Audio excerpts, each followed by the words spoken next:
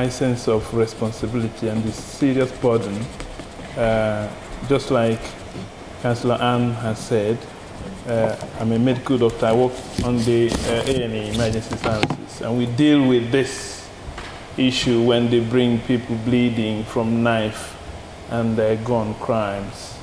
Uh, and uh, day in and day out is, um, is a major issue uh, that we deal with to try and save people's lives. Uh, and many a time you don't succeed. And it leaves you with a great horror. Uh, it was one of the reasons why we decided to um, uh, embark on this, to be a voice on this um, uh, major, major problem.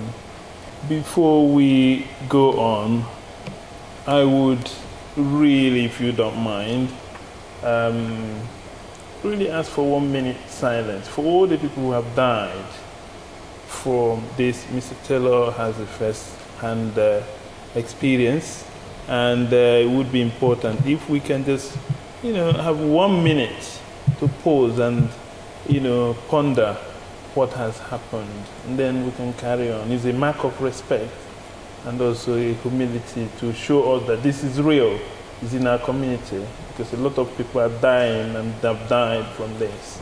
So if you don't mind, uh, to observe one minute silence in honor of the people who have, may have died. Okay. May their soul rest in perfect peace. Amen. Amen. Um, looking at the background of the problem, uh, knife and gun crime has become uh, a major, major problem in London uh, and you know around the country.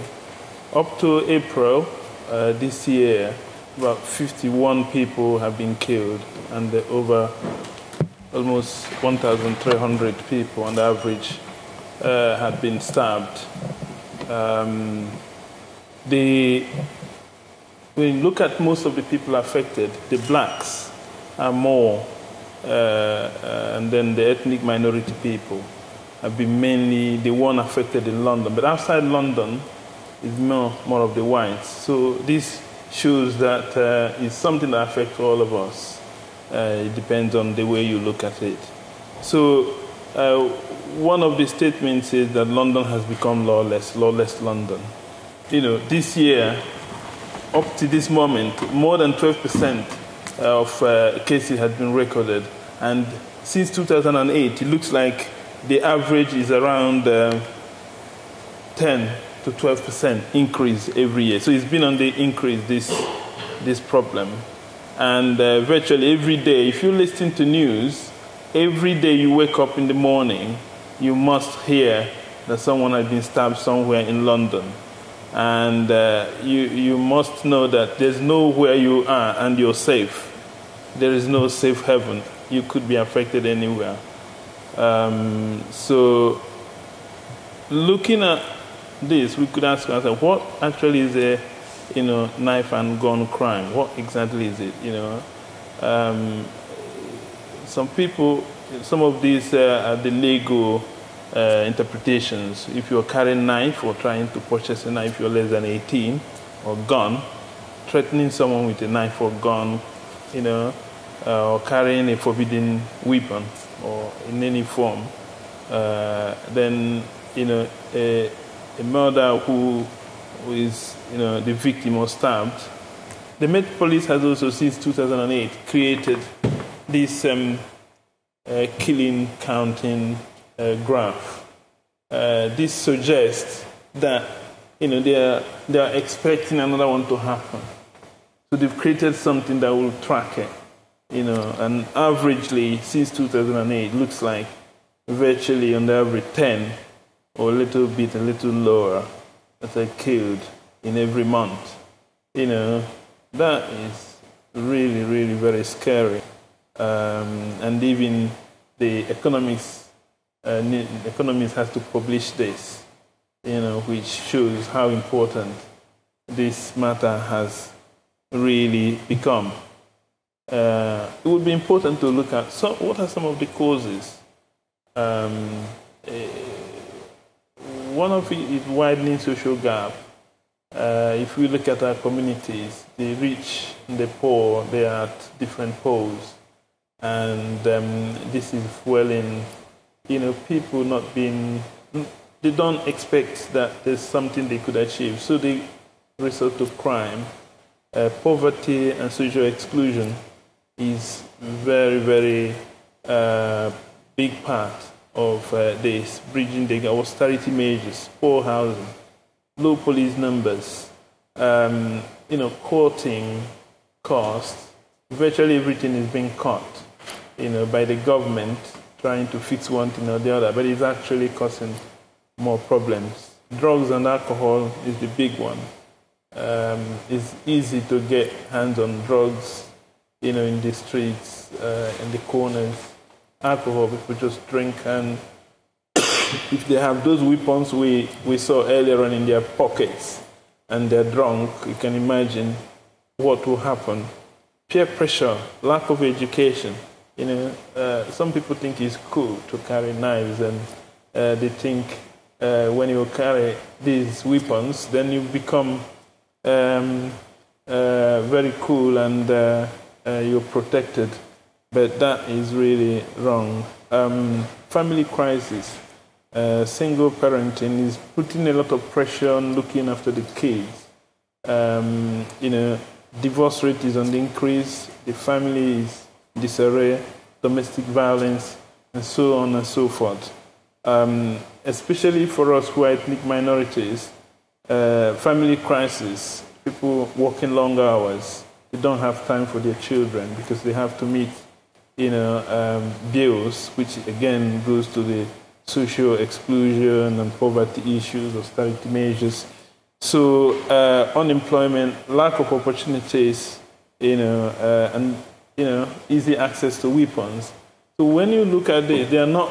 The, the list is endless. There are so many other causes, which uh, I'm sure that um, we know so many of the causes, but these are some of the snapshots of all the interlinks of some of the other things that um, uh, you know cause these problems, and hopefully if they are addressed, we hope that would um, make a difference. Consequences of knife and gun crime.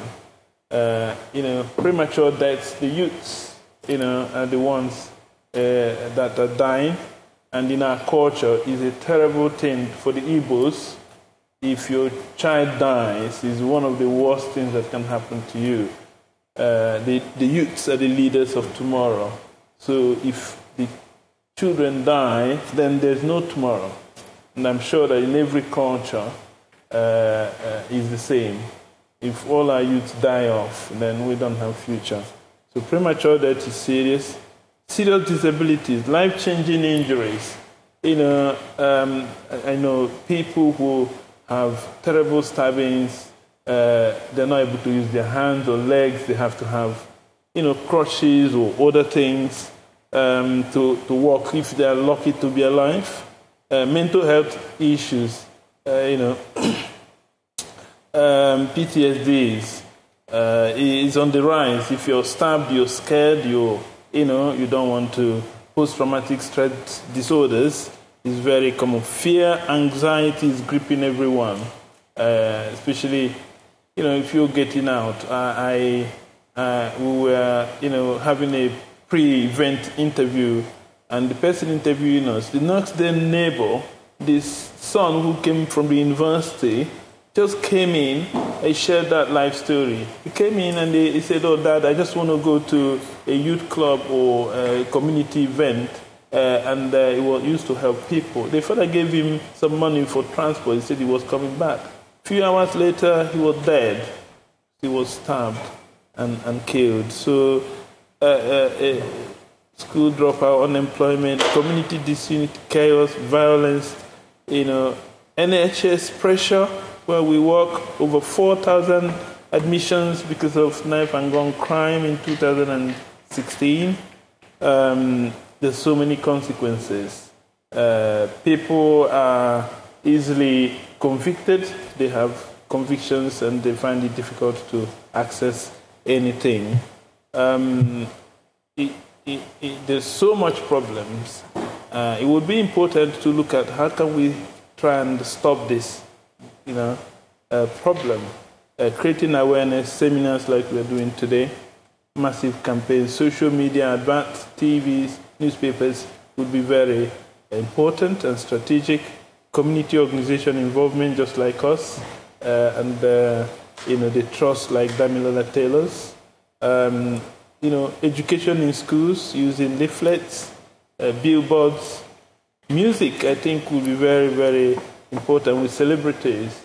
You know, if we get them singing uh, and telling the youths, they will listen, you know, instantly. So I think it's a good one. Churches, charities uh, would play key roles.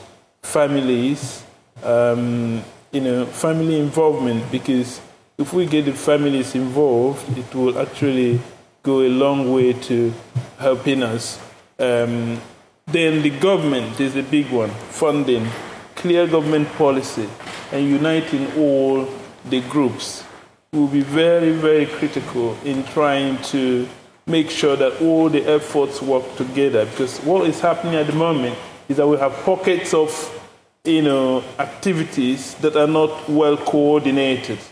So if we get government, um, you know, coordinating things, it will be very, very helpful um, in this regard. Now, some of our recommendations for winning this war, we call it a war uh, because we think that is a major, ish, major, major issue, and if we elevate it to a war a strategy, this could help us to win it. Improve government funding will be very crit critical.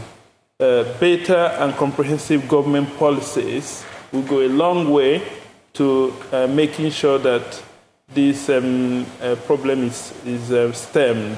Involvement of parents, families, faith groups, community organizations, charities, you name it, will be very, very important. Dealing with illicit drug and alcohol problems will be very strategic.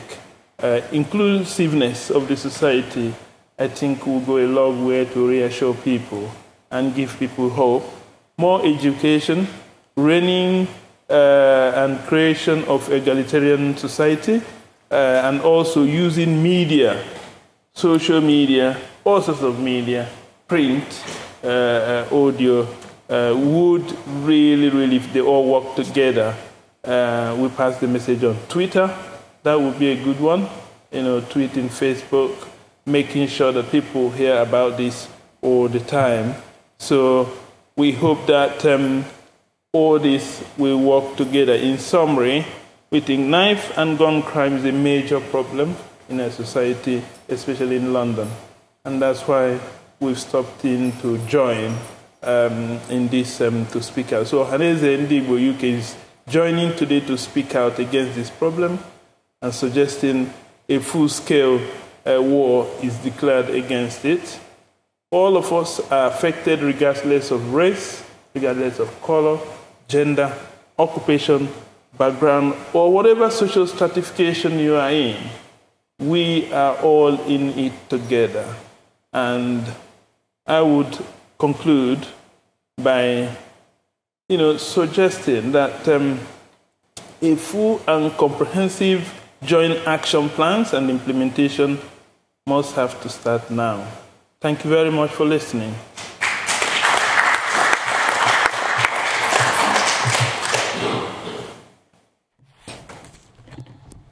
Thank you very much, Dr. Nnanna Igwe, the President of Ohanaeze. I'll use this opportunity to acknowledge, um, I think, few Ohanaeze executives that have come in. I can see our queen sitting down there. She's the female first vice president, is it? Correct me if I'm wrong. The female vice president of Ohanaeze. Um, welcome to Waltham Forest. Um, next item on the agenda is actually. I don't know if Hassan wants to speak with me. My name is Councillor Anna Mbachu. I'm happy to work with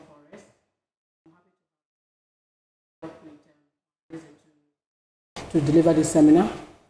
Um, apologies for lateness for those who are still on their way because I'm continuously receiving text messages. People are saying that they're held up in traffic. They left work in good time thinking they'll be here, but the traffic is so much. I think I've got about 12 messages. But unfortunately, we have to start because the mayor is in the house and we've got some dignitaries that are in the house. So they'll join us whenever they get here. Um, the reason I'm speaking on this is a couple of years ago, I've actually um, been a junior cabinet member holding the portfolio for um, domestic violence in Waltham Forest. And during that time, you know, um, a lot of things was happening, and it hinges on this issue. But between me and the lead member, my colleague, Councillor Hassan Khan, he'll be looking at it, taking, at it, take, taking it from borough-based perspective, but I'll be looking at it from London-based. The key facts around knife crime in London. Since 2014, knife crime has been increasing both across London and East West. It has increased by 24% across England and Wales. In 2017, it was 36.7 across the MPS. Victims of this make up nearly half of them are under 25. In fact, 25 years of age. So 75% of these are male. And almost half of this figure are the black African minor, minority ethnic. Offenders make up 50% under 25. 90% of these are male, two thirds BME. There were 80, 81 related um, knife homicide during 2017, plus 22, plus 20 in 2016. Young under 25 African Caribbean male knife crime victims make up 41%. 31 of 73 victims of London um, knife homicide in 2017, excluding terrorist and domestic issue, yet they make up only 1.4% of the London population. We make up the lowest population, but the crime rate is high. Currently, around quarter of resident field knife crime, 26%, and gangs are 23% of this, are a problem in their area. So wherever you live, majority, you know, people, that's the feelings they are having. This increase, this increased during each quarter, during the fiscal year of um, 2017 and 2018. Unfortunately, my iPad, these figures should have been projected up there, but somehow it's not compatible with the, the system. So I'm having to pull it out here. If anyone wants me to send them this, just leave your email address and I'll send the statistics across to you. So the highest results are seen in Hackney, where knife crime is 37%, gangs is 42%, and the lowest results are seen in Barnet, where knife crime is 12%. Compare that to Hackney, where you have 42%, and the gangs is 9%. The question is, why? Why is it lower in Barnet, and why is it higher in Hackney? So those are the discussion people should be having and benchmarking if there's anything Barnet is doing differently or they're doing that is better that can be copied you know, in boroughs where the statistics are higher. The data on knife crime opens up place, um, place-based solution to borough ward level. A fifth of London's wards experienced weapon-related murder in 12 months, gun or knife-related. Just 12 wards were affected by both gun and knife-related homicide during the same period. Of those, five were within London's most vulnerable wards. Nearly half of all knife murder offenders resided within the same borough as the offended within. Just over 10% live within the same ward as the offense took place. Where, where offenders have traveled, this is often due to having links to the area and living elsewhere. What they're trying to say is for offenders, they often commit this within their comfort zone, within the area they live. The only time they venture out is either they have a link there or they have someone that have actually asked them to come. They rarely travel from their comfort where they live and go and commit an offense in an unknown place. It's a very rare occasion. It happens in a very rare occasion. I don't think there's any statistic that has captured that. There is um, a table here which I'm going to read out. This is about the whole London borough. We have 42 boroughs that make up London. And we have the statistics for 2017 and 2018. And I will, if everybody leaves their email address, send this across to them. We started with Southwark. Between 2017 and 18, we have 866. Compare that to Kingston upon Thames, the same year, where they have 92. That's a huge difference. There must be something Kingston upon Thames are doing. The government, ourselves, elected people need to look at that. But let me run through the whole boroughs. I've just gone through from the extreme to the lowest. Haringey followed 794 cases. Newham, within that same period of 2017 and 2018, Newham had 786. Brent, 764. Lambeth, 730. Tower Hamlet, 715. The figures are going down. Westminster, 646. Islington, 629. Croydon, Nikki Melike, Nisden College. Croydon, 610. Ealing, 475. Barking and Dagenham, 444. Redbridge, 425. Wandsworth, 400. Greenwich, 394. Barnet, 382.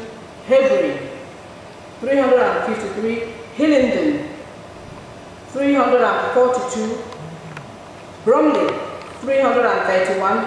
Hounslow, 307. Kensington and Chelsea, 263. Hammersmith and Fulham, 236. Harrow, 221. Sutton, 202. Merton, Bexley actually, 201. Merton, 187. Richmond upon Thames, 127. And Kingston upon Thames, 92. Knife crime, a lot is known What works is what we want to see. From the tables there, some of the boroughs are doing the things that actually work. Some of the key points that have been raised are education-based approaches to demonstrate the dangers of carrying a weapon and making available resources and services to support vulnerable young people. Skill-based programs that aim to develop ability to control behavior and participate in pro-social activities. Partnership with partnership key along with tackling wider issue of interpersonal violence. Family focused program such as home visits, parent training, family therapy. These have been shown to work in preventing gang involvement and youth violence. Who delivers education program is quite crucial. Preferably should be those who can engage well with young people and have direct experience of knife crime, knife crime, either as a perpetrator, victim, family, or community member. The police also have a role to play. Now let's look at what doesn't work. Few of the key points that have been identified as points that doesn't really work. Knife crime amnesties have proved ineffective alone. They do not address underlying causes and give and given the ready availability of knives have a limited effect. The media and knife crime amnesty have a role to play in awareness raising. However, only when delivered alongside wider education, educational measures.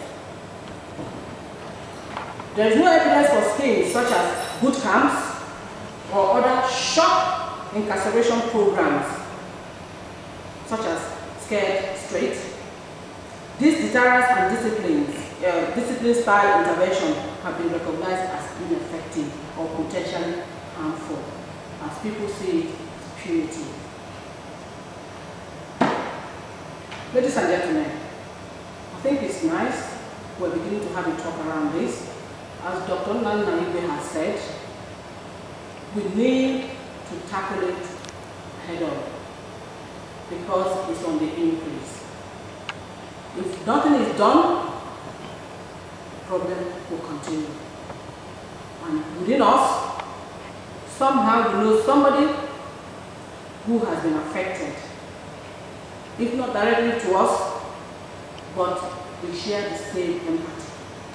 What Nnanna Igwe have shared here, the young guy in question, I know the mother. The guy finished his um, first degree last year, July. Graduated like any other person. Part of um, a youth club somewhere in Stratford. Came in, and the father was actually in the kitchen. Father said, sit down and eat. He said, oh, I just want to go down the road. Give me some money to top up my loss. I need two pounds. The father said, oh, I have some coins in a plate today. Just put it and take four pounds. He said, no, Dad, I'll take two pounds. At the door, he said to Dad, I'll see you later. Dad said, when are you coming back? He said, half an hour.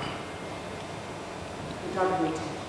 When he that the knock on the door, because the elder guy on and his phone to come and announce to him that his son has been preparing food for, that he has just attended his graduation, has been stabbed fatally.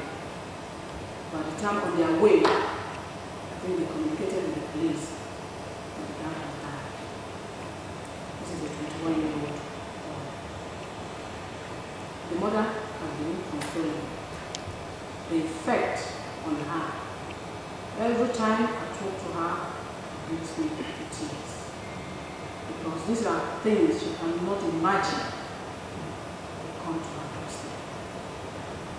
She cannot. I have a son. And when I listen to her, I tell you, personally, even as a clinician, I still break down. Because it's not much. He's not in a gang. He's a boy that comes from a good home. It's nearly a year now. He's out. We need to address this issue.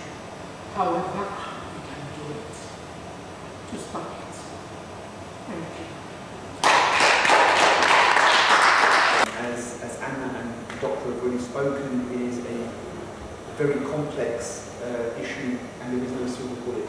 It's very much local government working with GLA and government to try and find a kind of solution. But at the heart of that solution has got to be community. Um, so I'm really just going to talk about some of the work we've done as a borough around trying to, to, to, to tackle this uh, issue head on as, as Anna has just described. Just before I kick off, I would just like to forward apologies from the leader of the council who was due to attend, but unfortunately has had to uh, attend uh, another event and, and he won't go away. It's, it's not going to make it here today. In, in terms of uh, tackling youth violence, gangs, knife crime, gun crime, you know, it's, it's, it's, a, it's, it's a very difficult issue. Um, and before you embark on putting together strategies around how you deal with the problem, you've really got to understand the problem that you're dealing with. So before I say what you need to the rest of London, like London, we have seen a a rise in knife crime, in youth violence. Um, we have a problem with gangs. And what we did was we commissioned a professor from the university in 2007, Professor John Pitts, who gave us a baseline uh, understanding of the gangs operating in our borough. Um, last year, we commissioned London South Bank University to build on the work of Professor John Pitts and look at the profile of our gangs in 2017-18. And there was quite a big difference in that in 2007, Professor John Pitts reported back as part of his study that the modus operandi of gangs at that time within Eastern Forest was very much focused on postcodes, very much focused on their estate, very much focused on a patch. And they were very territorial. So when, when gangs were sort of going between the different uh, postcodes or estates, we would see a spate of violence. Fast forwarding 10 years later, 2017-18, the London South Bank University study tells us that the, the, the primary focus of gangs is no longer focused around postcodes, but now around profit, profit from drug dealing. So the title of the council report uh, that we commissioned from London South University is from postcodes to profit. And that just shows the transition that the gangs have gone through from focusing on territory now to focusing on a much more ruthless model of profit. A lot of that profit they focus on is something that you may have heard about around county lines models. And that's very much focused on understanding that London is very saturated, uh, the numbers of police officers are, are relatively high, uh, and you have more chance of being caught. So a lot of the gangs now are going into some of the towns outside of London to sell drugs. Um, and previously, uh, whilst sort of the, the postcode models, uh, whilst the focus was on postcodes, we saw violence, but probably not as extreme violence as we're now starting to see. So you know, the, the knife crime and gun crime has certainly increased. Uh, and again, we're not unique with that. Uh, in, you know, across London, a lot of the gangs now are operating from what is called the county lines model. So we got a really good idea of the model that the gangs are now using, the numbers of gangs within the borough, numbers of individuals within them gangs, uh, and, and some interesting highlights coming through the report, which again showed a big, big shift uh, when compared to 2000, 2000, 2007 and 2017, was the the now use of younger people to transport drugs and the use of women, young women, to transport drugs because they would uh, stay under the radar from the police, uh, were less to being stopped and searched, and women specifically, because of the lack of women police officers, they, there was, they, they were unlikely to be stopped as part of their transporting drugs journey. That combined with factors that Dr. spoke about earlier, poverty, inequality, exclusion of school, um, you, you know, gave us some reasons uh, for young people getting involved in gangs in the first place, different vulnerabilities. So in terms of responding to the London South University study, the council put forward uh, our response um, only last month. Uh, and so what we pledged to do was invest a further 800,000 over the next four years on top of the current 2.2 million that we already invested in early help. And that's around focusing on how we support families to uh, ensure they are resilient and have the skills and tools uh, to ensure young people reach their full potential uh, and do not get lured into gangs or youth violence. So we've managed to retain our children's centres, and a lot of that work, when I say early help, starts very much from conception. So working with single parent households, households that are aware of substance misuse being involved, where we're getting involved very early and offering our support to those families and individuals in some instances we accept we are not going to enforce our way out of the problem, but enforcement does have a role to play. And that's why uh, what we'll be setting up at a borough level is a um, financial recovery unit, where, where we can prove that gang members have purchased items through means they cannot prove, we will be able to take them assets away. And there are examples within our report from Stanford University of gangs having purchased buy-to-let properties, So, you know, they're making lots of money, they're, they're able to, to purchase quite, you know, expensive assets. The public health approach is very important of our response. So there's a real focus on ensuring substance misuse services are responsive, and alongside that, mental health services. So what we'll be piloting in this borough, working with the NHS, is to offer all gang members and all those on the periphery of gangs a mental health assessment when we come in touch with them. And that's something quite unique that we're piloting at a borough level. But just bringing back to what I opened with in terms of the role of the community, the council will not solve this problem on its own.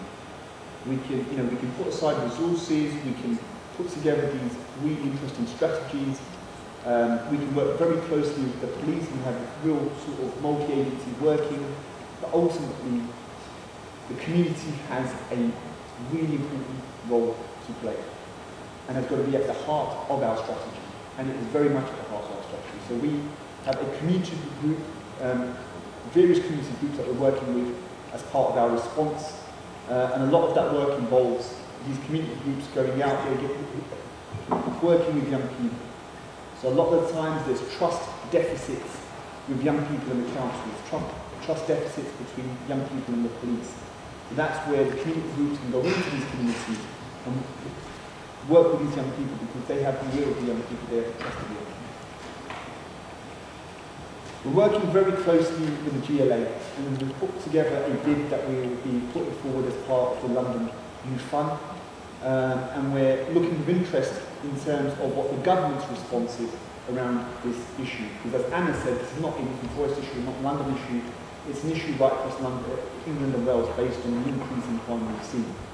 The government have set aside £40 million um, around tackling this issue uh, and we'll be seeing how we can work with the government uh, to add resources to our uh, offer at a local level. So I'll, I'll, I'll leave it there um, as part of the discussion later. Happy to pick up any uh, questions.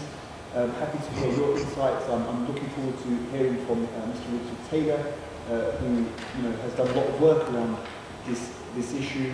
Um, and just to finish by saying thank you, uh, Anna, again for organising this event, which gives us as uh, politicians an opportunity to hear your views around how we tackle uh, the menace of gangs um, in our borough and right across London.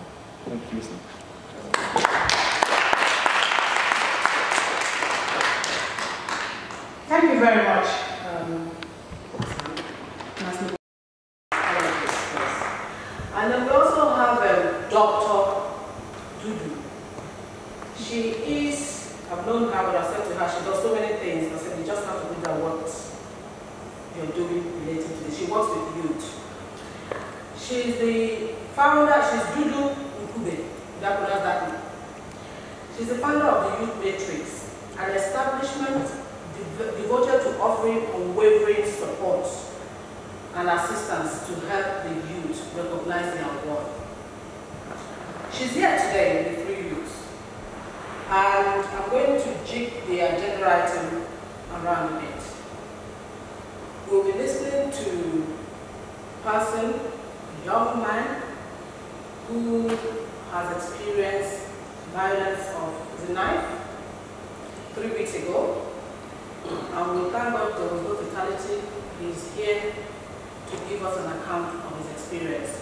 Uh, Babatunde is in Dukoya. Good evening, ladies and gentlemen. Um, first of all, I'd like to thank everyone for coming out. Um, I'd like to thank um, the gentleman right here for giving us a platform to kind of have dialogue between the youth and basically just speak on things that are very important, especially um, issues such as this that are plaguing our society. So, um, my name is Babatunde Olukoya. I'm 22 years of age. I go to University of Kent where I study law in my second year. Um, three weeks ago, I was coming back from the bank and I thought to myself, I said, let me take a shortcut. If I take a shortcut, I'll be able to get home quicker. If I get home quicker, I can do my laundry, all that, get out the way easy. So on this day, I took a shortcut. As I was walking, there were three guys waiting, just waiting. They were kind of lounging around. Two Africans, one Caucasian. So they started questioning me instantly. You know, they were looking at me. I could tell from their body language that they kind of had a, an issue with me. And what I thought in that moment was it's not possible for you not to know someone and have an issue with them instantly.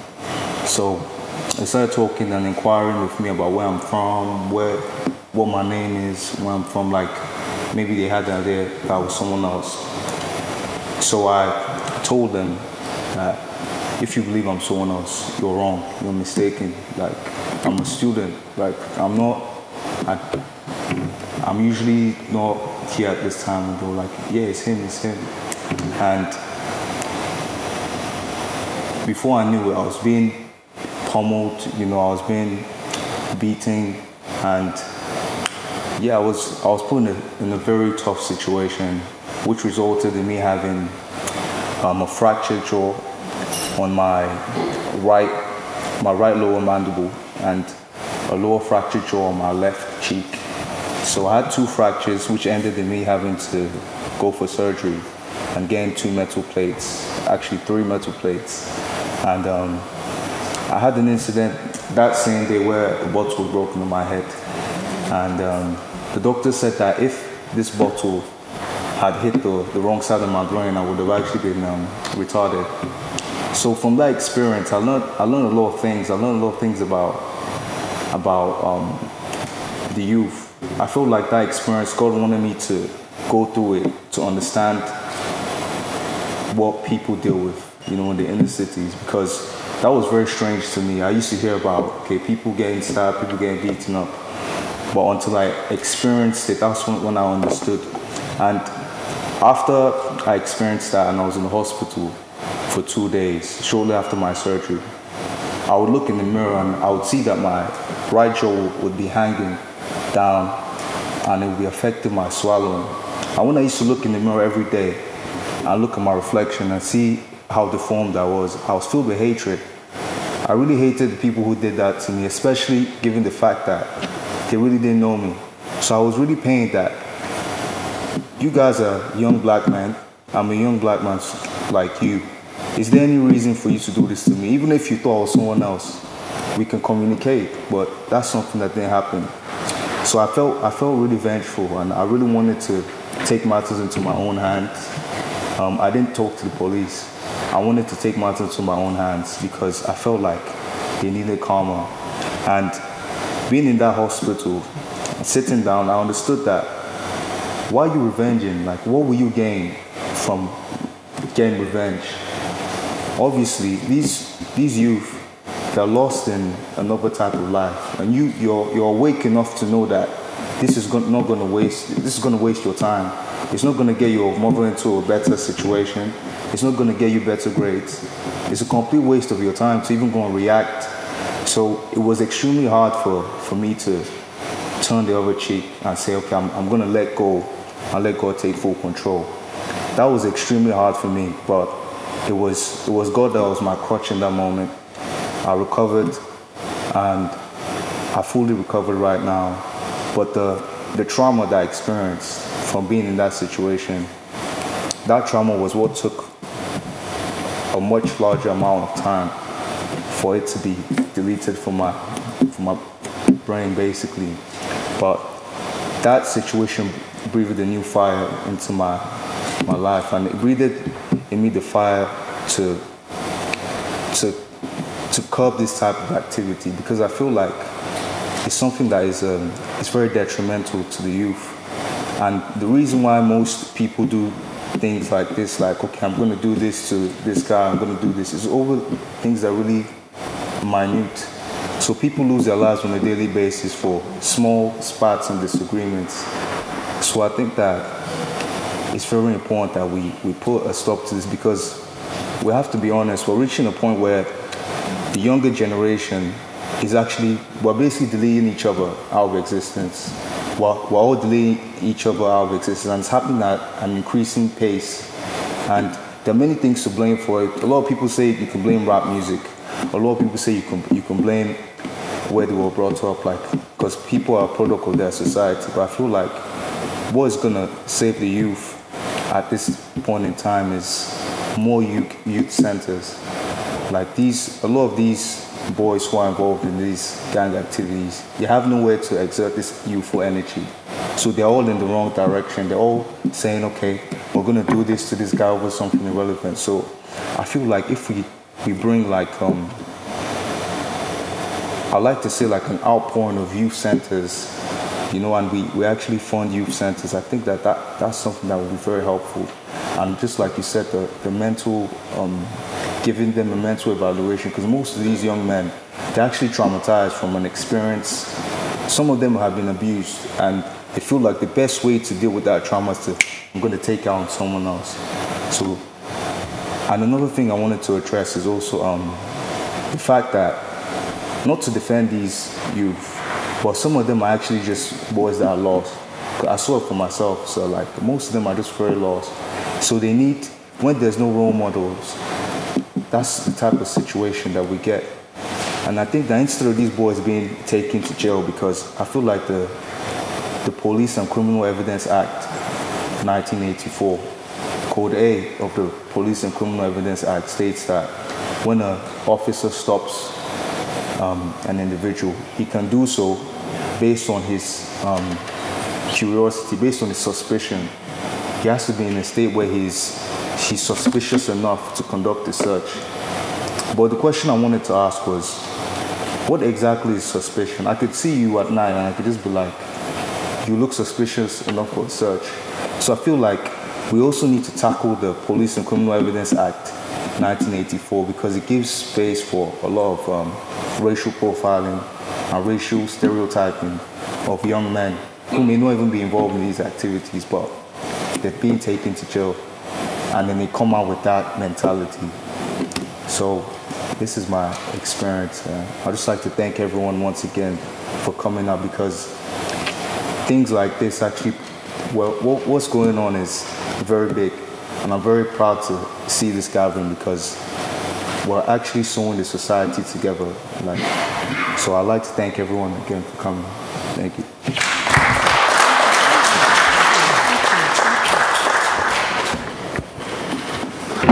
Wow, that's very, very moving.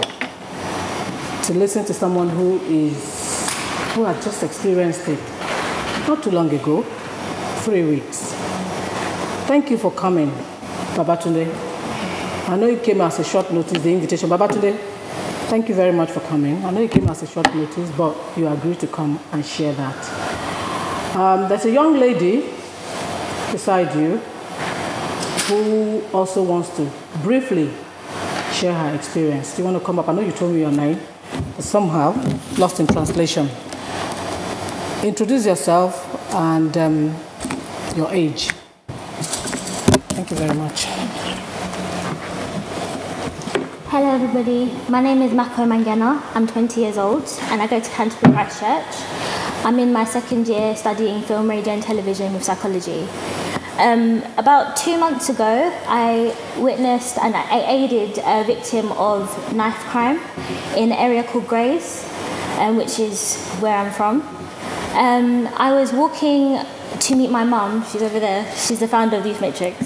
I was over. Um, I was walking to meet my mum, and um, I passed Grays train station, and I saw a boy lying down on the steps with his friend, and he he seemed like he was. They seemed like there was something wrong, but I couldn't quite figure out what the situation was, but they just looked, there was something that just didn't seem right to me. So I went over to them and I asked them, are they okay? And his friend, who um, was trying to, the, the boy who was lying down was the person that got um, stabbed, uh, he was a victim. His friend was so insistent on not getting any support from anyone. And it was later that I realized that the reason he insisted on not getting support from anyone is because he was worried that if anyone approached him that was maybe an officer or you know someone that was of authority, he would be in trouble, mainly based on maybe something he was carrying or something like that. So um, from there, I realised that they are up to no good. They are young people who are in a situation.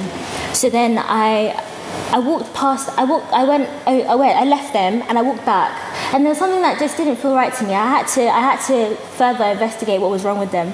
So it's then when I asked more that I saw that the boy had blood coming from his hoodie all the way down to his trousers. He was covered in blood and his friend was trying to hide it and he was trying to push me away. And I said, no, no, no, your friend is bleeding. He's losing consciousness. Clearly I could see that he was struggling to, to stay conscious. I need to get support. I said, have you called the ambulance? He said, no, I haven't called the ambulance. Please, please leave us alone.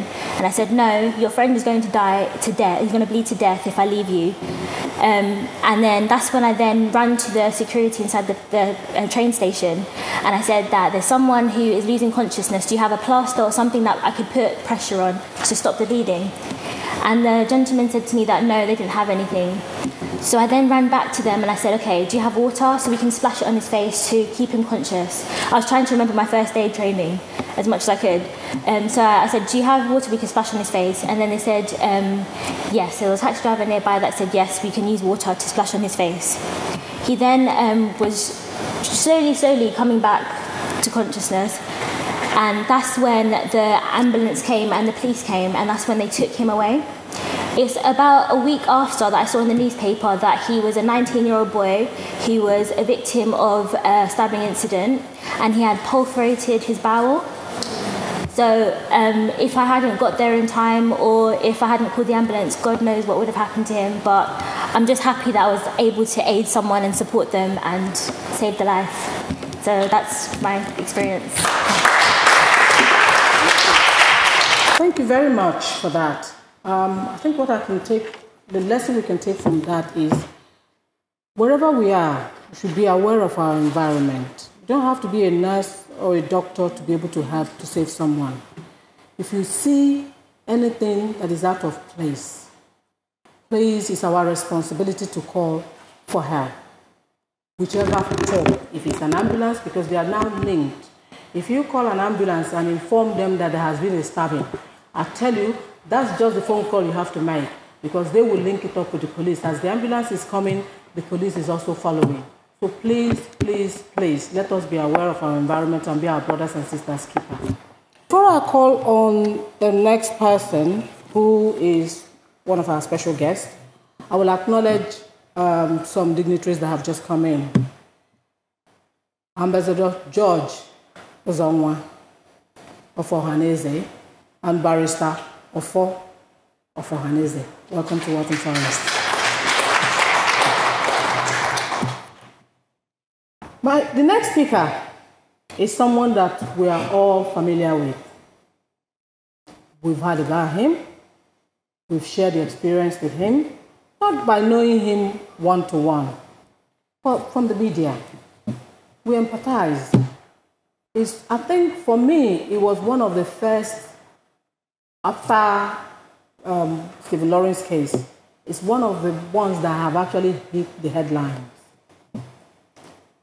He's here tonight as a father to share with us what it takes to lose a son. Probably to give us advice how or what, what, I don't know how to put it because as a mother, I'll be speechless. But he's agreed to come and share his experience with us. Please put your hand together for Mr. Richard Taylor, Damilola Taylor's father. I suppose that's the only way people will know. The late Damilola. Thank you very much, sir.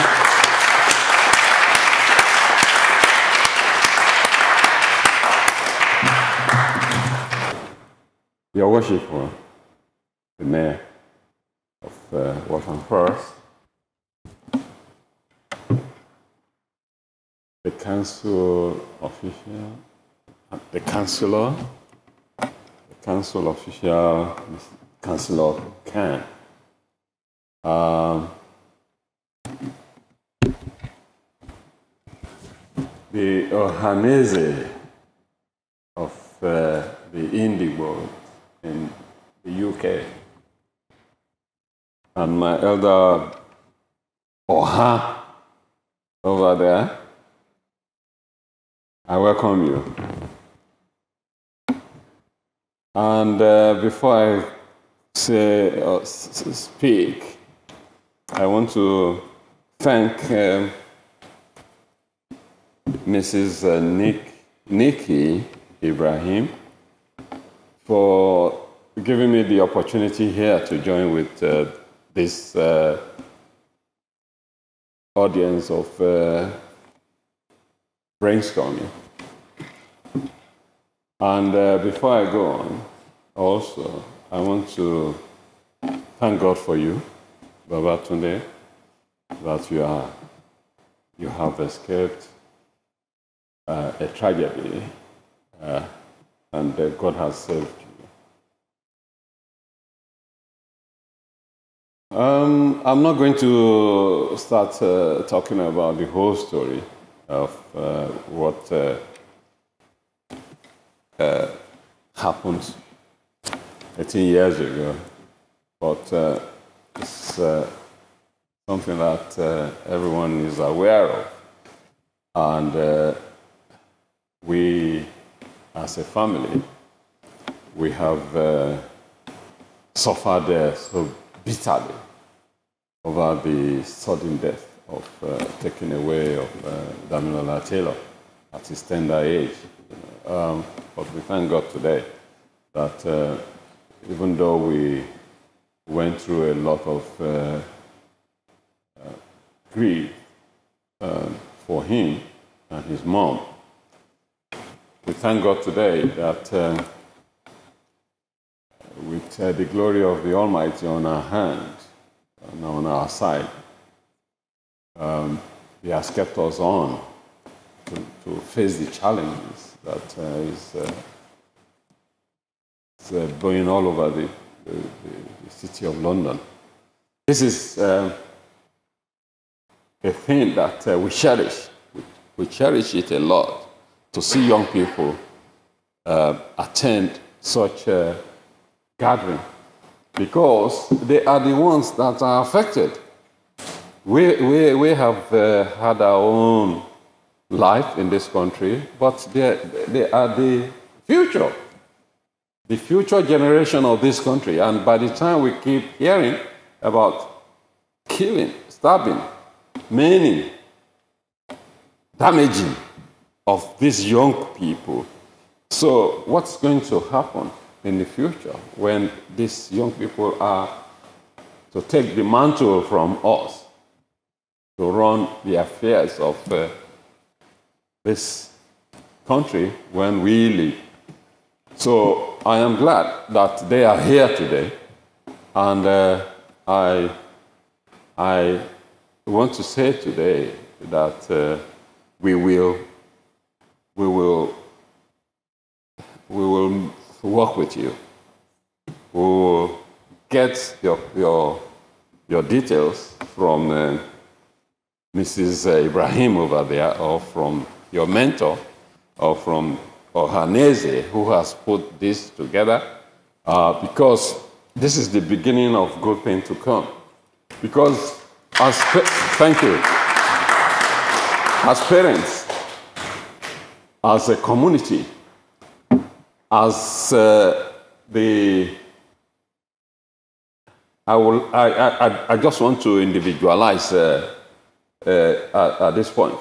As a country that we have, we have migrated from, the government at one point set up a body to, to take co control and manage the affairs of uh, its people in this country. And that, is, that was uh, the government of uh, ex-president Olusegun Obasanjo. He set up a group called CANUK, and, and the other one, NIDO. But the concept the, the concept of setting that group up was a very good one. Eventually, things started falling apart, you know, within the, the people that are chosen to run the affairs of those. Uh, so today, those, those uh, groups have not delivered.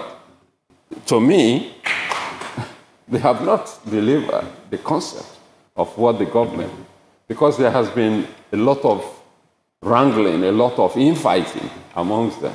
They want to be, they want to be leaders of uh, the group. They want to be financial, and you know, you talk about it. they want to be holding portfolios and offices, and there was a lot of wrangling, and that has affected.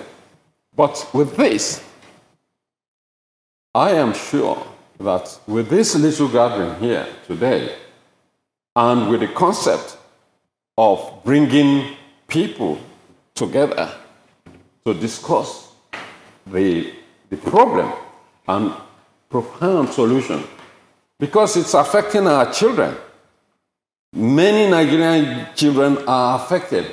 I'm sorry, I have to be blunt. A lot that have died are Nigerians, Ghanaians. We don't hear, I'm sorry, uh, about Asian young people stabbing themselves. We only hear of, of our own community because there is a conspiracy somewhere.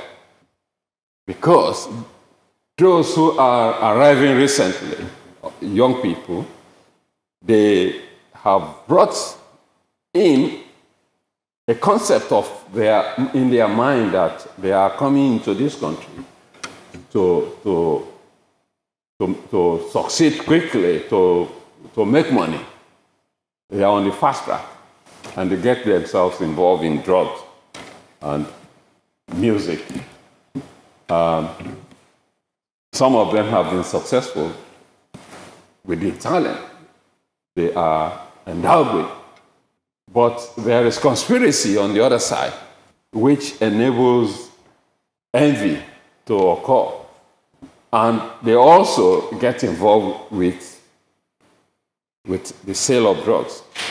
Like uh, Babatunde experienced, you know, I, I want to say one thing to you that, that uh, happened to you that day.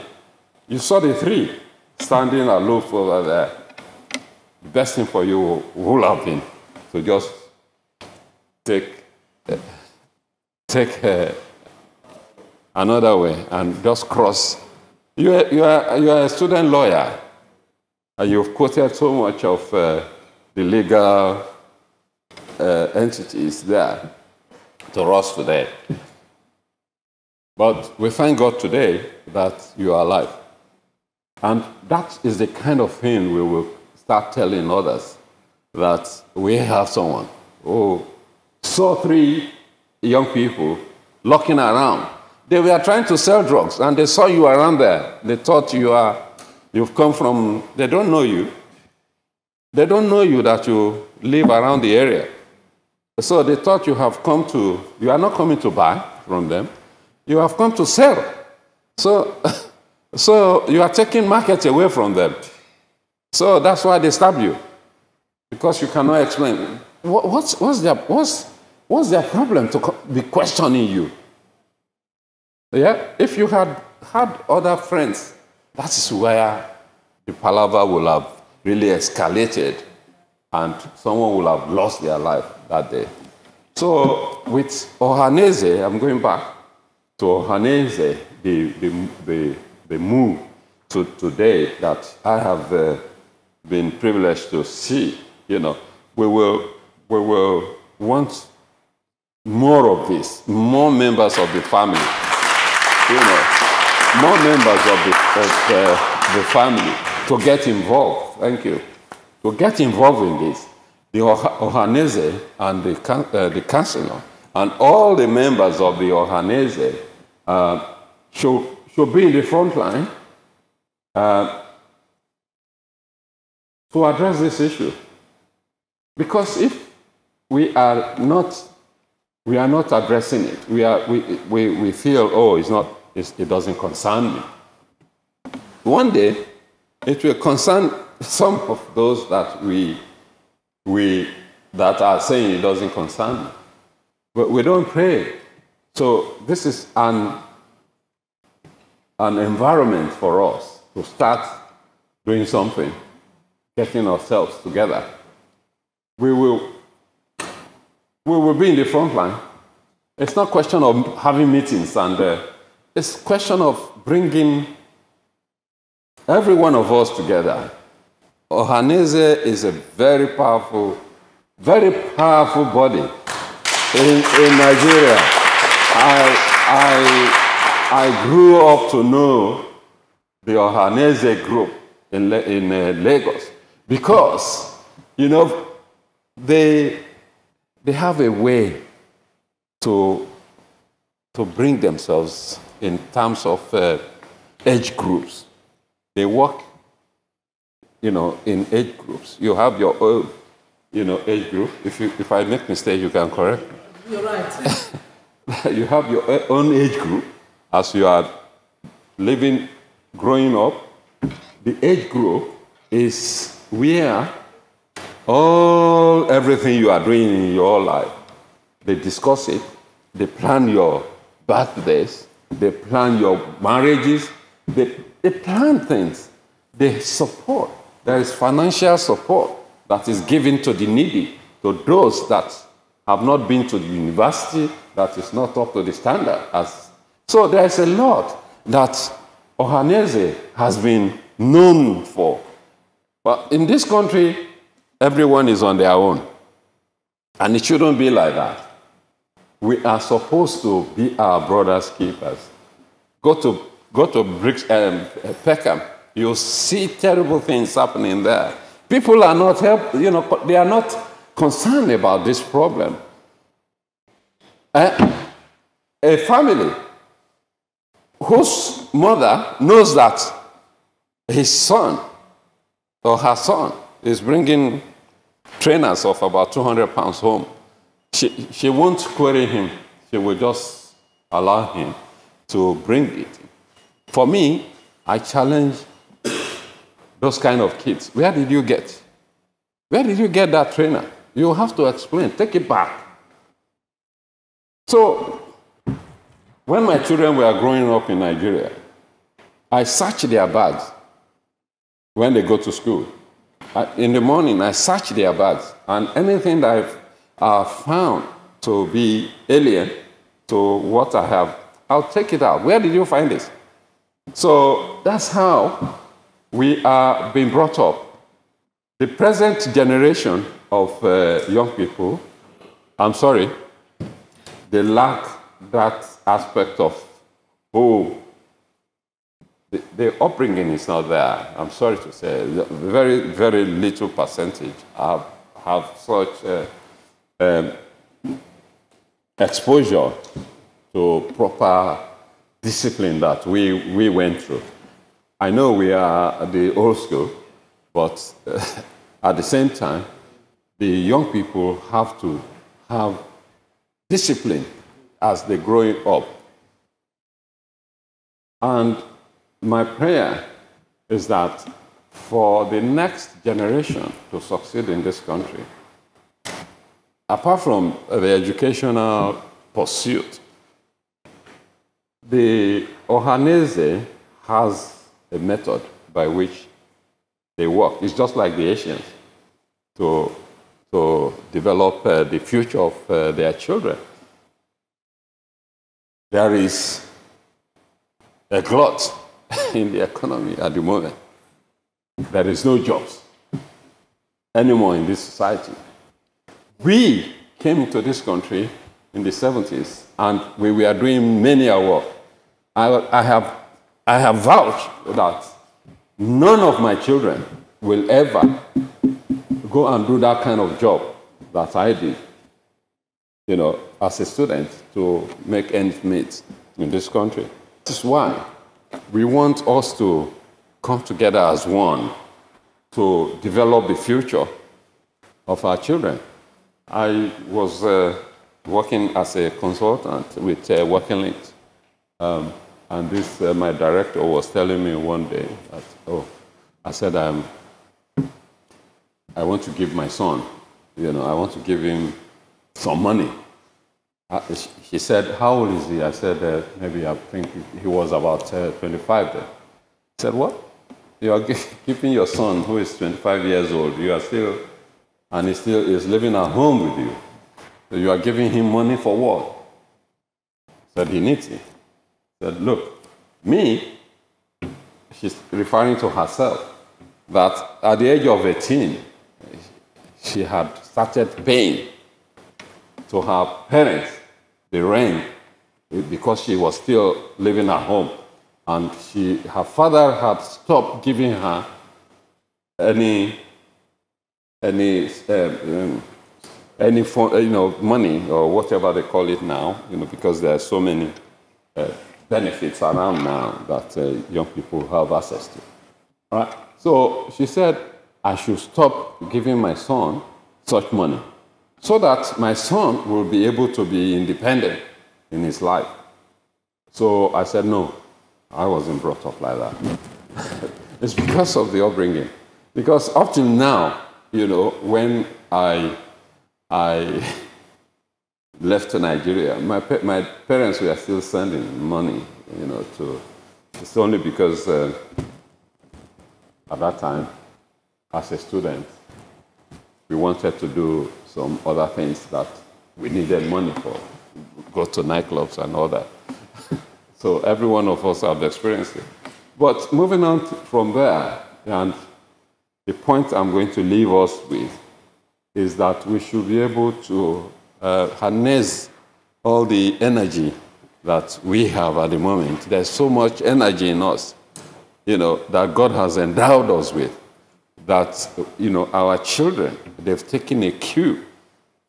Imagine Tunde there and, and the young lady and the young man there, they have an aspiration in life. But we parents, especially we, should be able to manage our, our, our children. We should be able to bring them up in this country. This is, this is their home. They have no other place. They, they won't go to Nigeria. You're just wasting your money building houses in Nigeria. These kids, they won't go and live in Nigeria. I'm telling you. I have a house in Nigeria, in Lagos. My son went there. And when he, he, he went inside, he said, what, what a waste of money. He's not going to live there. So this is, their, this is where they are going to live. We should be able to you know, provide that, that support for them. University, jobs, marriage, if they choose to get married.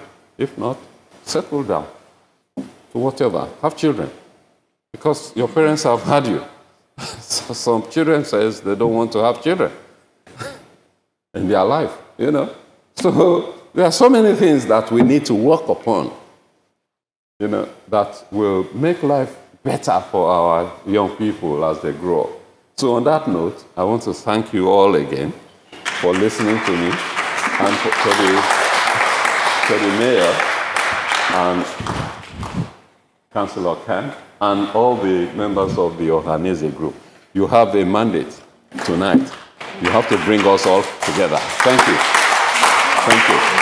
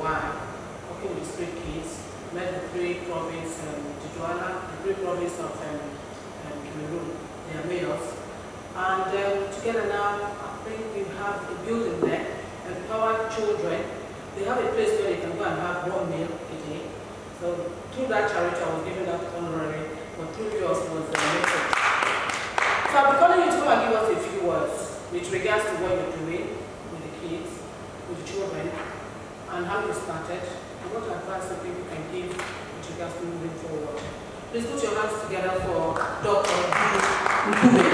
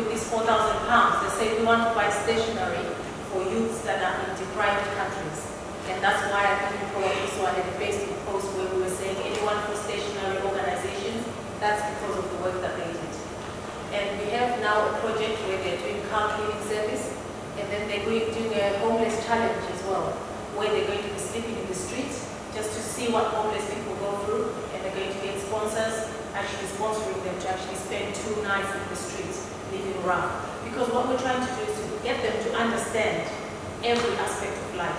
We're having an exchange program where they're all going to spend time in Africa, in Asia, and different countries, just to go and see. Because A lot of them have lost touch with their roots, they don't know who they are. Mm. So we're trying to get them to understand who they really are and also to embrace their wealth, not be ashamed of where they come from, but actually value it.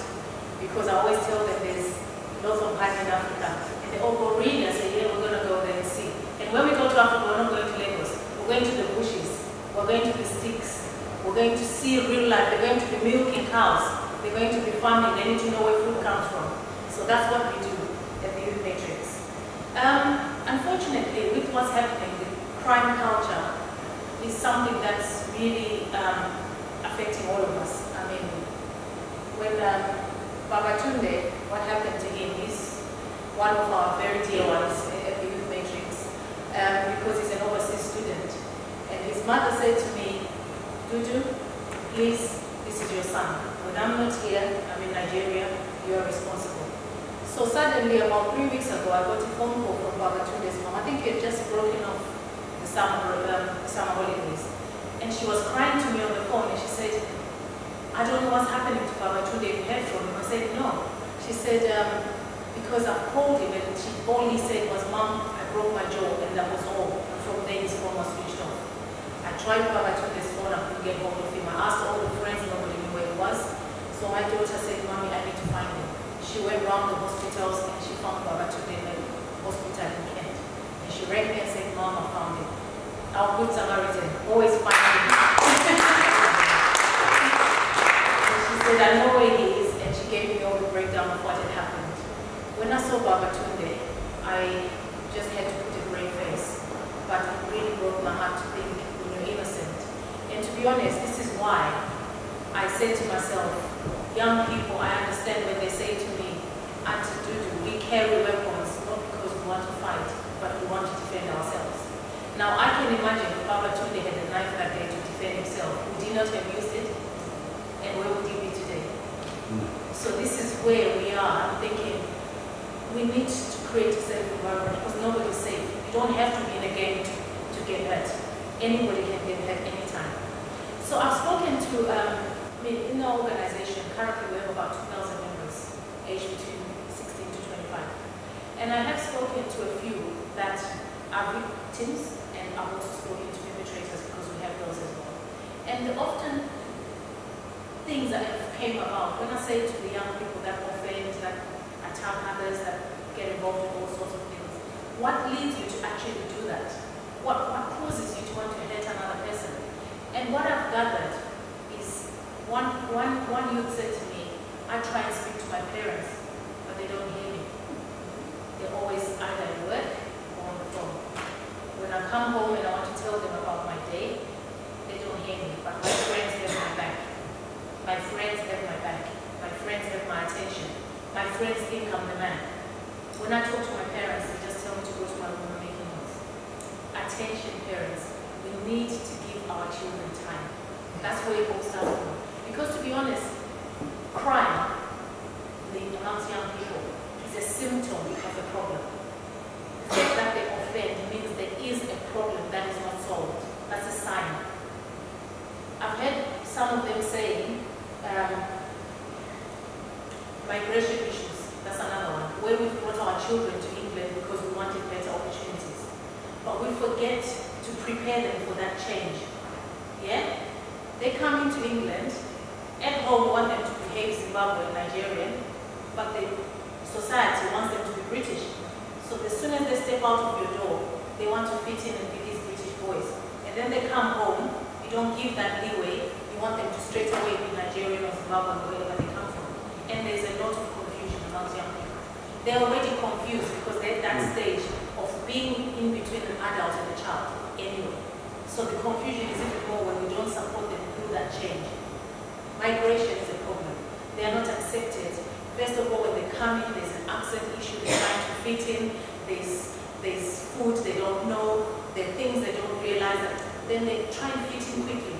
So therefore, they're easily misled. So we need to give a lot of support to our young children because there's a big problem there. The other issue as well that I found um, is absent parents. That's a big one. I'm not saying it's anybody's fault. Sometimes relationships do break. But when relationships do break, I think the parents that tend to stay with the child overcompensate for the parent that's not there. Therefore, we let children get away with things they shouldn't normally get away with. So I think, again, we need to make sure we strike that balance. Because most times, parents don't know their children. I know that I have a lot of youth that I know more than their parents know them. Because I've had youth say to me, do you know what, I speak to you better than I speak to my mother. Because you give me time. And that's wrong. So we need to understand our children. We need to talk to our children.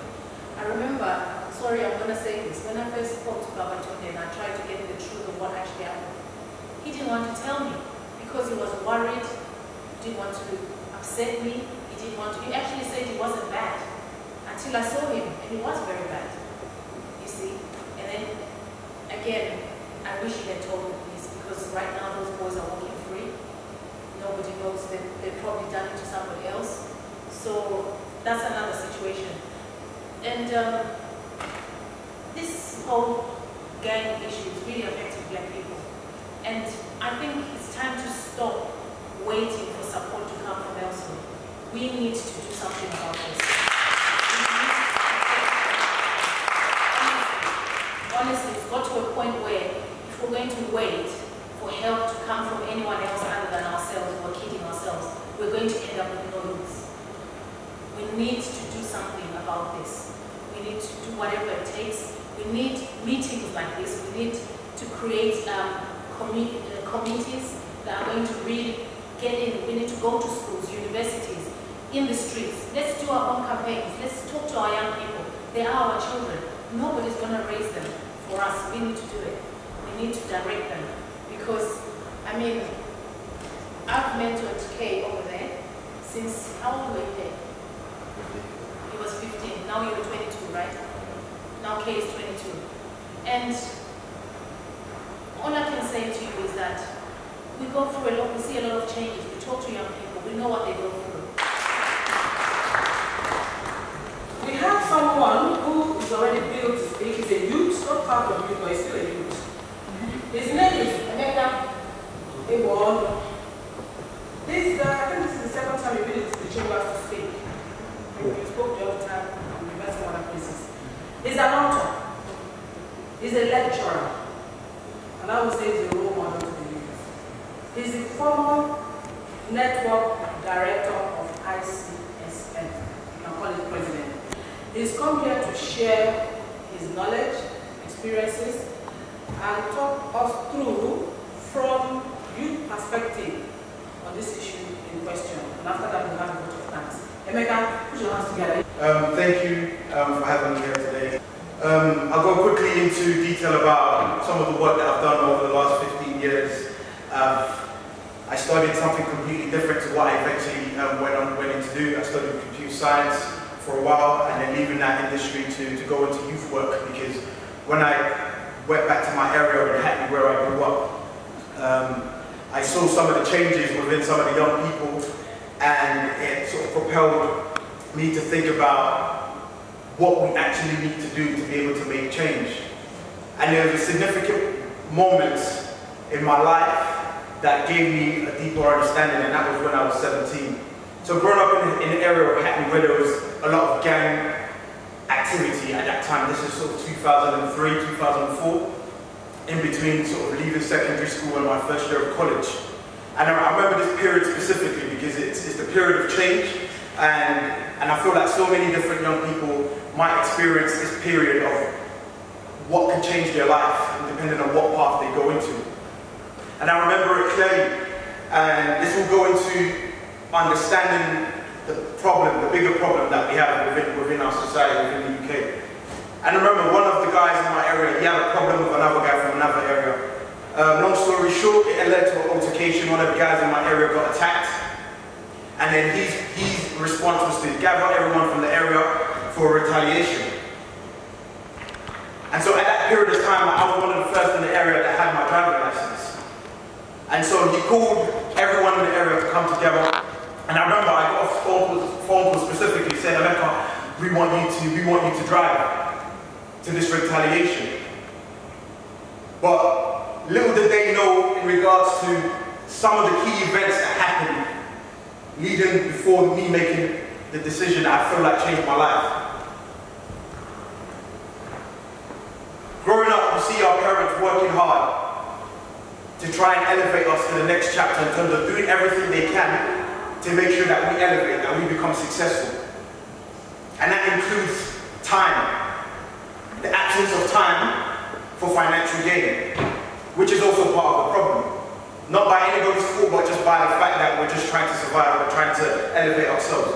So that lack of time, always see my mom wake up in the morning, even before we go to school. And then after, she, after we've come back, 10 o'clock, 11 o'clock, that's when she's coming in. And I remember one time when she came back late, and I calculated, I'm thinking, how many hours is, how many hours shift, this doesn't even make any sense. And so at that point in time, I looked at my little brother, four years between us, and I said to, her, said to him, you know I'm going to make it my goal in life to try and retire my mom, to try and make life easier for her. So that gave me a purpose. Two days later, this situation that I told you about just occurred, where I'm now called to meet this group of guys, there's about 70 people, and the aim is to retaliate. This is a lose-lose situation, and in this situation, this guy is a known guy in the area. Nobody says no because of how it looks. But at that time, straight away, I looked back and I said, if we go and we succeed, there might be a case. So you lose either way. So for me, the only thing that made sense was just to say, you know what? I'm not going. And I'll take whatever the consequences there and then in essence, the guy even respected me for not doing something that I didn't want to do. Long story short, eventually the five guys that went into another car, they had four guns in that car. They were stopped on the way to retaliate. Each and every one of them, nobody owned up to the guns, so every single person, joint enterprise, was sentenced for four or five years. That was the start of their criminal lifestyle. The last person, three, four years ago, I saw him he committed another crime after going to prison several times, and for, this time it's 20 years for just robbery. But that start in 2002, 2003 was the beginning of his criminal lifestyle. And I always use this to reference in terms of when I speak to young people and saying that choice is important. I've done research and I've gone to America where I feel like there's a lack of choice in regards to how the gang culture works in America. It's totally different. Here, there's a lot of choice and a lot of young people choose this lifestyle.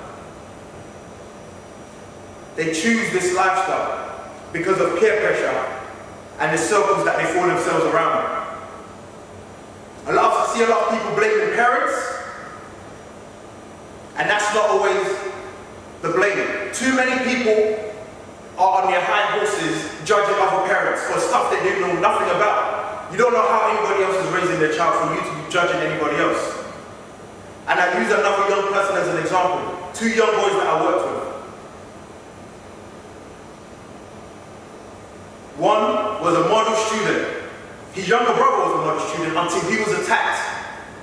Until he was attacked by another group of guys when he was coming home from another area.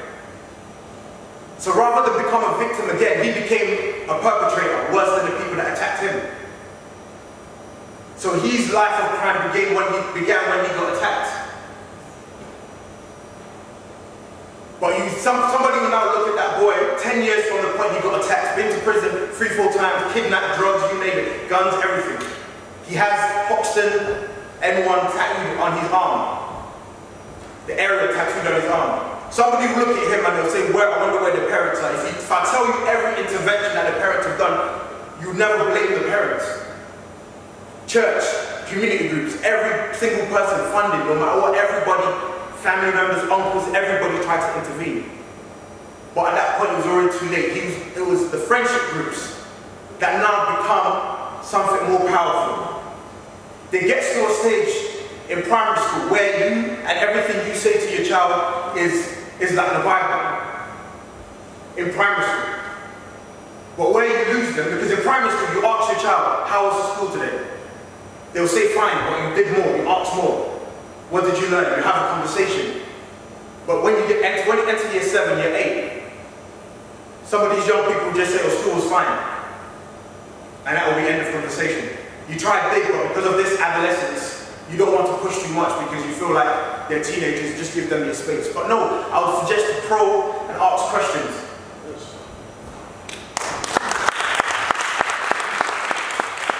Because the communication is important at that point in time. Because the, the, the big difference with that, with these two brothers, when you say surely they were not raised in the same household, These are, these are Nigerian boys, Yoruba boys. I've met their parents, strong parents, strong discipline. That school of discipline of study, education, everything, church was a priority focus. But the stark difference was that attack that nobody knew about at the time when it happened and the peer group that he decided to keep after that attack. That's what made a difference and that's who became his family. So when your real family start talking, don't be surprised if they just block everything out. Because the more you try to inter interject, the more they block out what you're trying to what you're trying to do. So where, does, where do we go from here in regards to when we're talking about the wider community in regards to what's happening in the UK right now?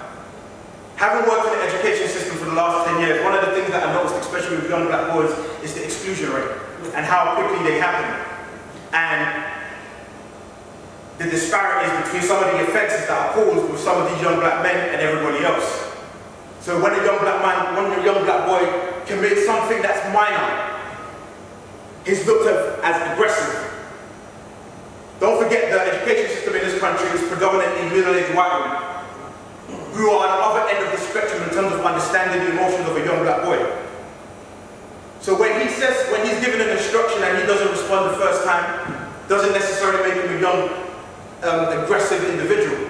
Whereas else I've seen in the classroom, when before I even became a teacher, I was just a mentor in the classroom. And I see exact same behavior by another boy, but treated in a different way. Some people might say, oh, it's this, it's that, it's because it's... No, ultimately, there's a subtleness in regards to how they are treated. And eventually, that fast tracks them to become excluded and how does that make a difference? Once they become excluded, you're now fast-tracking them to a point of hopelessness. Of where if they reach that point of, I don't care. Doesn't matter what you say, what the big brother says, what the parent says, because the, the friends that they meet outside, and especially when they're now put into those alternative education, where it's other young people from other schools who have been picked out, are now put into one group. Just put a prison outside of prison. So they're now locked together to now do less of an education. So from doing possible 13 GCSEs, you're now told you can only do two or three, if that. And even if you are doing the GCSEs, it's already capped. The highest you can possibly get is a D if you're lucky. So when you're telling somebody this, they already feel excluded from society, excluded from school, and excluded from any opportunity in terms of academics. And so nine times out of ten, statistics says 47% of those people who are excluded end up in the criminal justice system. And when you get to that point of hopelessness, to the point where you do not care anymore, and depending on the type of activities that you engage with on the streets, we're now talking about knife, knife crime. Violence against people that look like you.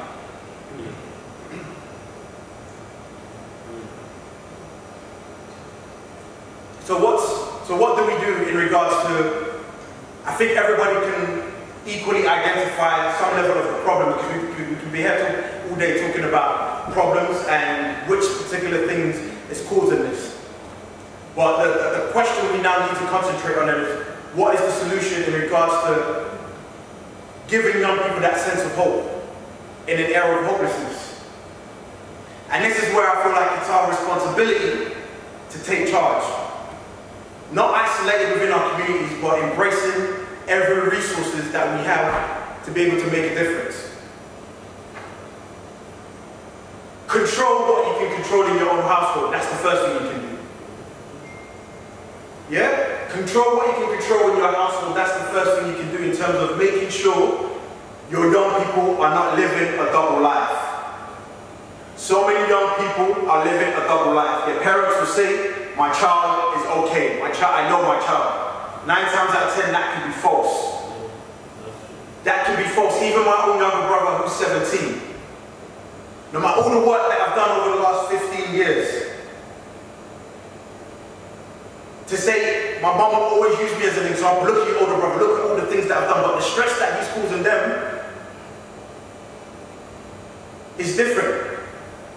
Because there's a lack of respect in this, in this younger generation as, as, as, as, as we move forward. So she's now brought me in to, to, to have an eye to make sure I'm speaking to him. So little lies, oh yeah, he's gone to football. Then I'll be the one to probe. What time does football start? What time does football finish? He will say four o'clock. And my mom will take the four o'clock because why, why would it be any other time? What time did you leave? Football was nine minutes. How far are you going? Hackney Marshes, we live in Oxford, so I don't understand disparities in time. So until I probe, and I, I don't live at home anymore, but I'll be the one calling to make sure, to understand where you are and what you're doing, and trying to let him know that it is important to let the people you know where you are at all times. But even then, understanding that are we willing to do whatever it takes to make sure that our young people are not involved in what is happening on the streets, and giving them every opportunity. Every opportunity. Without taking too much more of your time, I remember 2011 during the riots. I had this young man, we, we were doing a debrief on the riots, and I was like, who got involved in the riots? Some people put their hands up, some of them have already been charged, know that they're going to prison for stealing bottles of water and things like that. And there's a young man that I was expecting to be part of the ones that put his hand up to say, yeah, I got involved. And I asked him a simple question when he said he didn't get involved in the riots. And I was like, why didn't you get involved? And he said, I started my M&S job two weeks ago.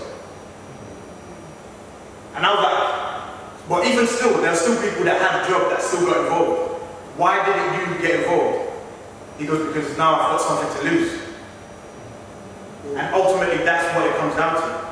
We need to give young people that sense of purpose within our communities. All we can do is give them that sense of purpose and put the opportunities there for them. I won't stand here and say that every young people that I've given an opportunity to have taken it. No, because I've got young people who call me from prison saying, Emeka, I should have listened to you. And I've seen those who've taken those opportunities now. I've, one of the young people I was working with about 10 years ago is now a director, putting on shows in the theatres. He invited me to his first show in December last year.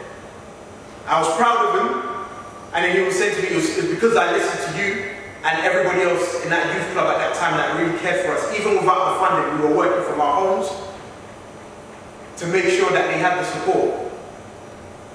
And so it's giving these young people a sense of purpose, and that has to start from our households and con continuously to believe in the purpose that they have. Give them something to do, put them into something, especially from a young age. Right now we're talking about intervention and solutions for some people who are already entrapped. But what, what about those who are two, three years old? Right now. This time 10 years ago, I was giving similar speeches to some of those young people who were two, three years old. Then, who are now 15, 16, hardcore into it. Products of your environment. If you don't change the product, then it continues to be the same. So we need to change the mindset. We need to start encouraging and working from home and paying more attention.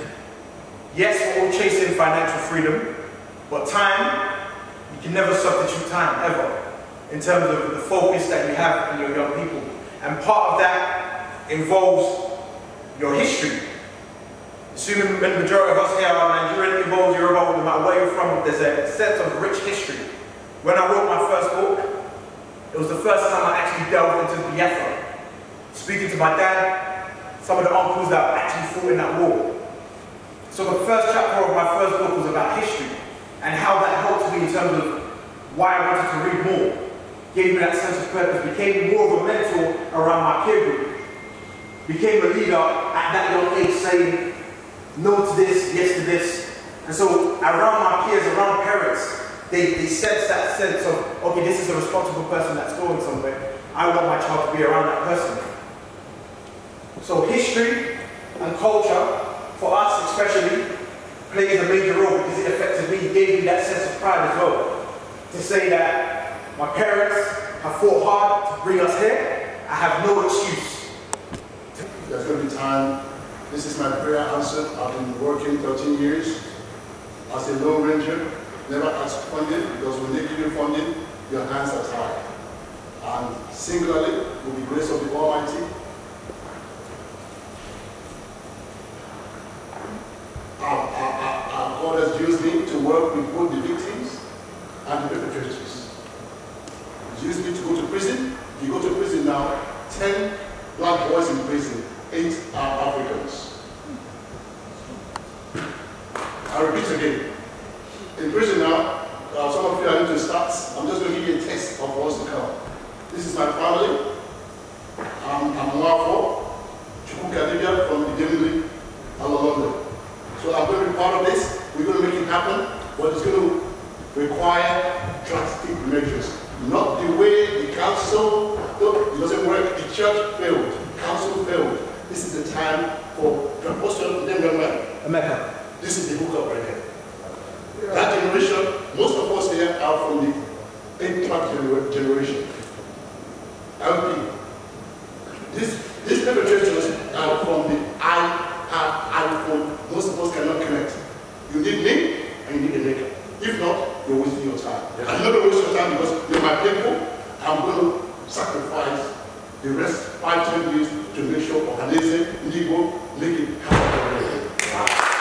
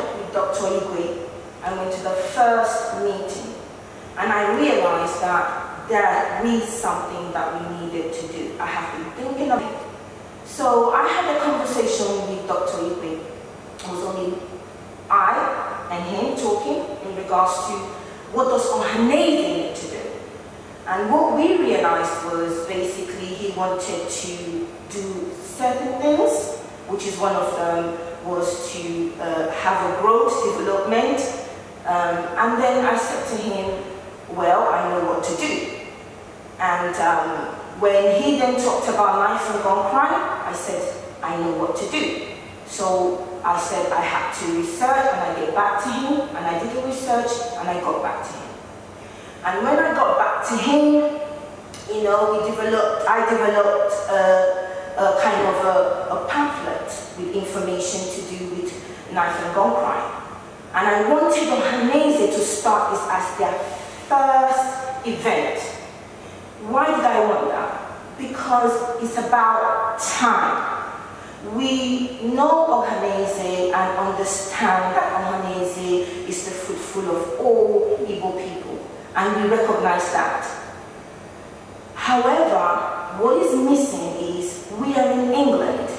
We have to draw through the system and we want to make sure drawing to the system is implementing different strategies to do so. That's exactly what we did. So we created and uh, the planning committee and here we are. And um, I am very glad because I wanted this to be compact. I didn't want it to have so many people. I wanted to be fruitful and quality. I'm a creator. I'm not a follower. And I want everybody to realize creating and creating jobs, opportunity for young people is very, very important. And that is the essence of the reason why the young people are doing the things they're doing today.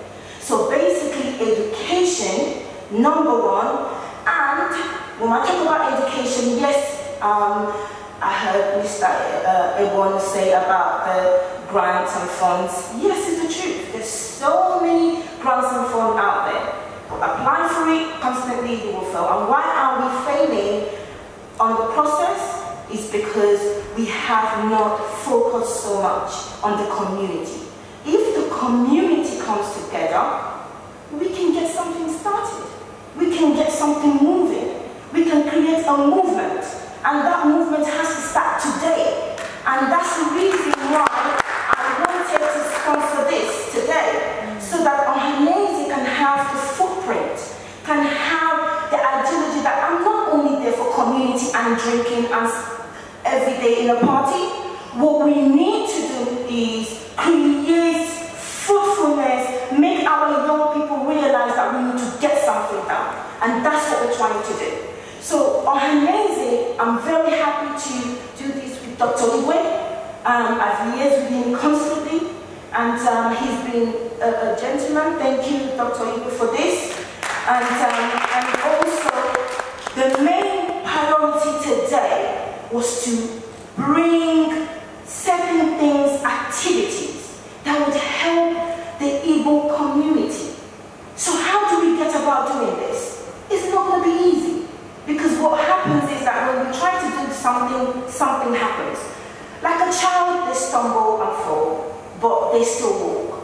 So we can start somewhere and walk and get somewhere. And that's how everyone needs to understand the leadership is very, very important. Like I said, education, leadership is another aspect. Ohanaeze is here with a good leader, fantastic. However, effective people with skills and qualities within Ohanaeze would move Ohanaeze to a place Ohanaeze has to be. We will keep the culture, we're never actually going to change anything, but progression and moving forward is the main aspect of Ohanaeze. So that's what I thought Dr. Igwe was going to achieve, and that's the reason why I'm here today. And um, um, thank you very, very much. I could say this. Um, um, we are here. There is a reason why we're recording this. We want people of the UK to realize this, that there is going to be a movement. There is going to be certain groups who are willing to move forward. We're not just going to say, okay, we put in a funding. No, that's not the only thing we're trying to achieve. We're trying to achieve other things. So by putting a footprint within the society, the system, of Hanese being represented within the system for achievers, for helping youth. Providing different types of activities is the reason why we're here. I'm very, very passionate about that, and that's the reason why I'm here too. Thank you very much, thank you. I hope we have food available, so please be aware that the food is there to eat as much as possible because we there is so much to eat. Okay, thank you very much, thank you.